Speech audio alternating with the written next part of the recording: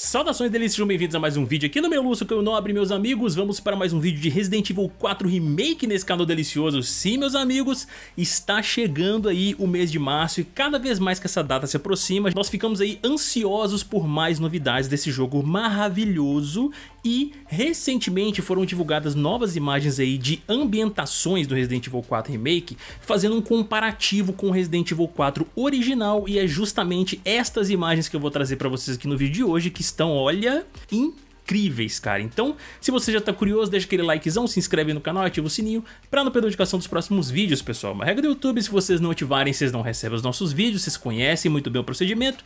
Acesse o nosso site camelo.net e também se torne um membro aqui do canal, se você puder, para poder ter acesso a recompensas exclusivas, como acesso ao nosso grupo do WhatsApp, pra gente poder trocar uma ideia, participar de sorteios exclusivos aí para os membros e ter o seu nome eternizado nas telas finais dos nossos vídeos. Caso você não possa, só de você deixar esse likezão aí, assistir o vídeo até o final e deixar um comentário acerca do tema deste vídeo, já ajuda imensamente, beleza meus amigos? Então vamos lá, deixa eu trocar minha tela aqui para a gente poder começar a conferir primeiramente a notícia, tá, relacionada aí a estas novas imagens, e aí a gente vai passar pelas imagens também e esse comparativo que eles fizeram com relação ao Resident Evil 4 original e a imagem do Resident Evil 4 Remake também, ó.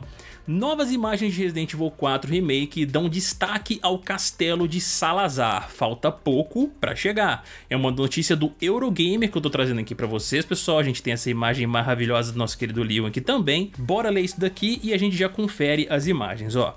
O Twitter oficial de Resident Evil divulgou novas imagens de Resident Evil 4, dando-nos um olhar mais claro a algumas localizações do jogo, incluindo o castelo de Salazar. As imagens que podes ver mais abaixo mostram a escadaria da cabana, o sombrio castelo de Salazar e os aposentos no interior do edifício. Faltam apenas dois meses para o lançamento de Resident Evil 4, isso aqui ele está fazendo uma citação ao tweet, tá? Aqui estão algumas artes dos locais de R4, o que vai acontecer nesses lugares? Mal possa esperar pela estreia, pode-se ler no post. Como já seria de se esperar, os fãs não perderam tempo para comparar estas novas imagens com os locais do jogo original, lançado em 2005. Como podes ver, os locais visitados agora possuem muito mais detalhes e elementos do ambiente. Texturas e efeitos de partículas também melhoraram significativamente, o que não é surpreendente. E aí um pouco mais abaixo que eles estão falando que o jogo será lançado no dia 24 de março desse ano, e ainda mencionam, ó, além de gráficos aprimorados e um redesign dos locais,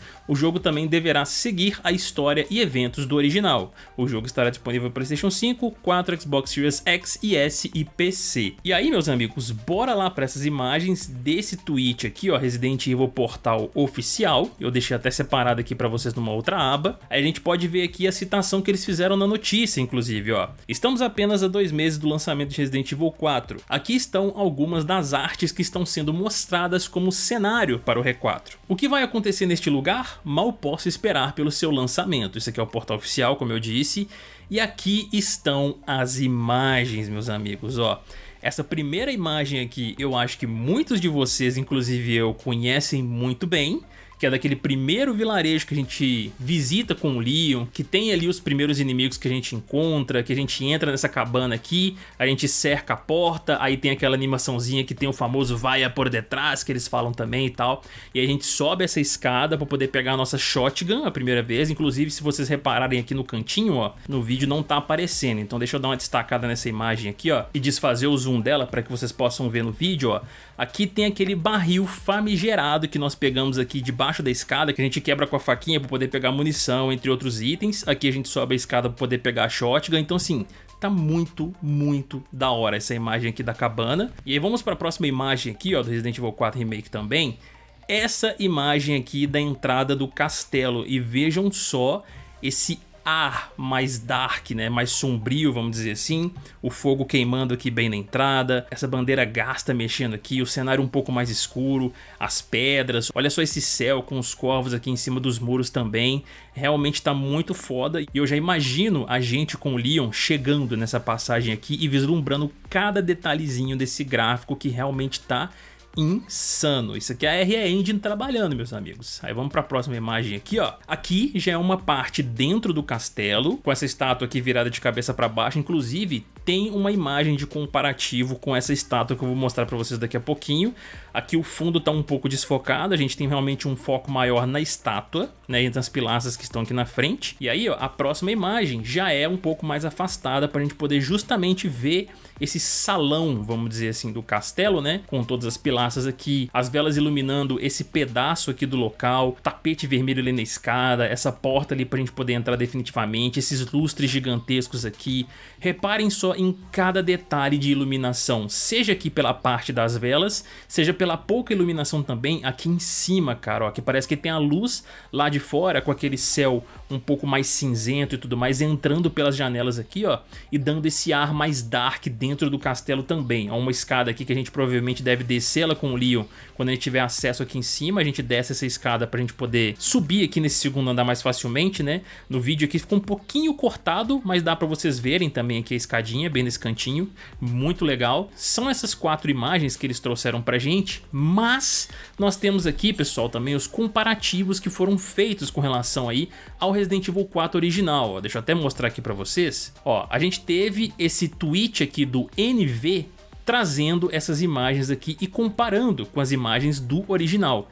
Vejam só que muito foda. Aqui ó, essa aqui é a imagem da cabana do Resident Evil 4 Remake, reparem só nos detalhes. E essa daqui é a cabana do original. Vejam só a falta de detalhes que tem. Poxa, é um jogo de 2005, tem muito tempo que ele foi lançado. Óbvio que a diferença seria gritante, mas é muito foda a gente reparar né, nisso daqui. Ver os barris aqui atrás da escada, tudo certinho, saca? E a gente vai passa para essa imagem aqui, o cenário totalmente refeito, com iluminação iluminação, uma maior profundidade aqui nos elementos que estão dispostos no cenário, as velas aqui em cima, essa luminária em cima dessa estante que aqui nesse cenário ó, só tem uma mesinha, o barril aqui no fundo a gente pode ver que está bem mais gasto também, então assim, vai ser um show de gráficos a gente passar por esses cenários tão conhecidos, né? E ver como é que eles refizeram cada um desses pequenos detalhes e trazer aquele sentimento de tipo, poxa, eu conheço esse lugar, olha só como é que eles refizeram esse negócio, cara. Realmente é muito impressionante o que os caras estão fazendo,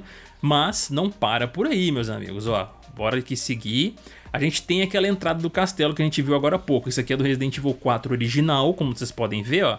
As pilastras aqui, aquela escada com tapete, a porta e tudo mais. E aí, vejam só aqui a imagem do castelo totalmente refeita no Resident Evil 4 Remake. Não tem como você olhar para isso daqui e olhar para isso daqui do jogo original e falar, caramba, mano, que incrível, que foda que os caras estão fazendo. Realmente é uma repaginada fenomenal e para quem gosta muito do Resident Evil 4, como eu curto pra caramba, né? Vai ser muito foda poder jogar o novo e visitar esses cenários totalmente refeitos, cara. Olha isso, irmão. Que diferença absurda que isso aqui tá. Mas, antes da gente encerrar aqui, meus amigos, ainda tem mais uma imagem para poder mostrar para vocês, que é daquela estátua invertida, como vocês podem ver aqui, ó, do mesmo cara desse NV aqui no Twitter, né?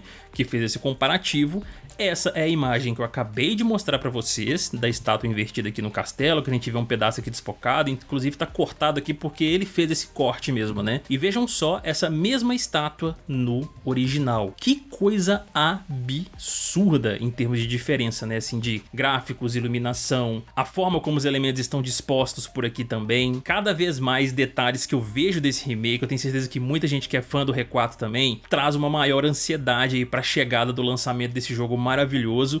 E lembrando, pessoal, a gente tá fazendo live do Resident Evil 4 original. Essa semana a gente tá meio parado porque eu não tô em casa, como eu disse no vídeo anterior aí. Mas a partir de domingo, quando eu tiver de volta, né, a gente já volta também com as lives de Resident Evil 4 original, pra gente poder fazer aquele aquece pro Resident Evil 4 Remake que tá chegando aí no mês de março. Então, meus amigos, com base em tudo isso que eu mostrei pra vocês aqui das novas imagens, eu quero muito saber agora a opinião de cada um de vocês com relação a isso daqui, cara. O que vocês estão achando desse trabalho que a Capcom tá fazendo com Resident Evil 4 Remake? Como é que tá o hype de vocês aí pra chegada desse jogo? Se vocês estão muito ansiosos e tudo mais, deixa aqui embaixo nos comentários, cara. Eu vou adorar ver a opinião de cada um de vocês. E mais uma vez, não se esqueçam de deixar aquele likezão maroto, se inscrever no canal ativar o sininho pra não perder a notificação dos próximos vídeos. Eu vou ficando por aqui, um beijo pra todos vocês aí, até mais e fuemos, meus amigos.